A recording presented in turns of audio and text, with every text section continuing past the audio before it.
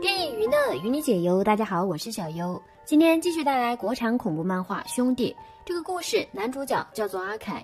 阿凯大学一毕业就找到了一份很不错的工作，按道理阿凯应该过得很开心才是，但他却没有，因为他最近老是做同一个噩梦，在梦里他身处一片黑暗之中，接着前方就出现一个发光体。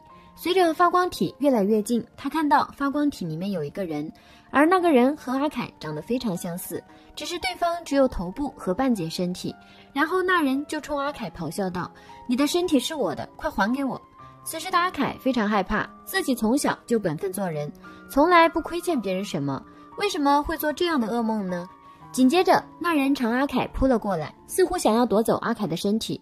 阿凯猛地惊叫一声，然后就被吓醒了。阿凯醒来就不敢再睡觉了，因为他怕自己睡着会继续做噩梦。熬到天亮后，阿凯就向公司请了一天假，然后就到医院看了医生。结果医生告诉阿凯，身体指标一切都很正常。如果还是经常做噩梦的话，有可能是工作压力太大导致的，所以还是建议你去看看心理医生。随后，阿凯就约了一位私人心理医生，每天下班后都会去做一个小时的心理治疗。结果持续治疗了一个多星期，一点用都没有。阿凯还是每天晚上做噩梦。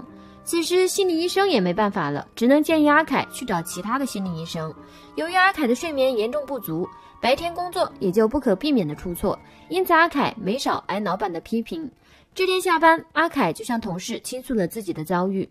这个同事还挺关心阿凯的，医生都没用的话，要不去找个大师看看。于是同事就向阿凯介绍了一位当地非常有名的大师。结果阿凯不相信什么大师，看了也白看。当天晚上，阿凯又做噩梦了。这一次的噩梦非常真实，那个半截人死死拽住阿凯的胳膊，似乎想将阿凯的身体撕成两半。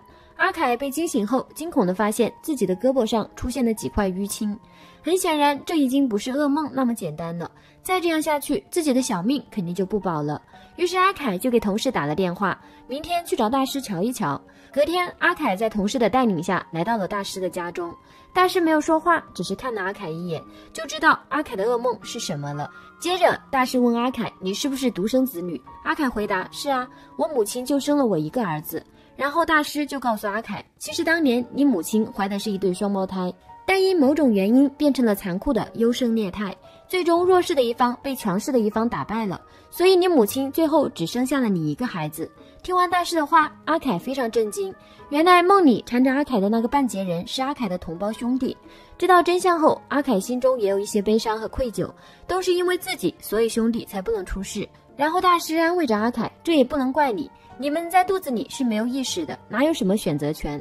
这都是世间万物的优胜劣汰罢了。”说完，大师在阿凯和同事的胸口贴了一张符咒，并打了一个手势，念了几句咒语，将阿凯的同胞兄弟请了出来。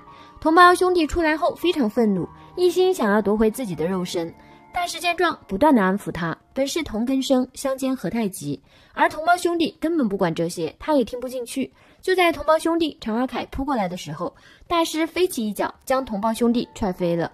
紧接着，大师掏出一个瓶子，念了几句咒语，唰的一声，同胞兄弟就被收到了瓶子里面。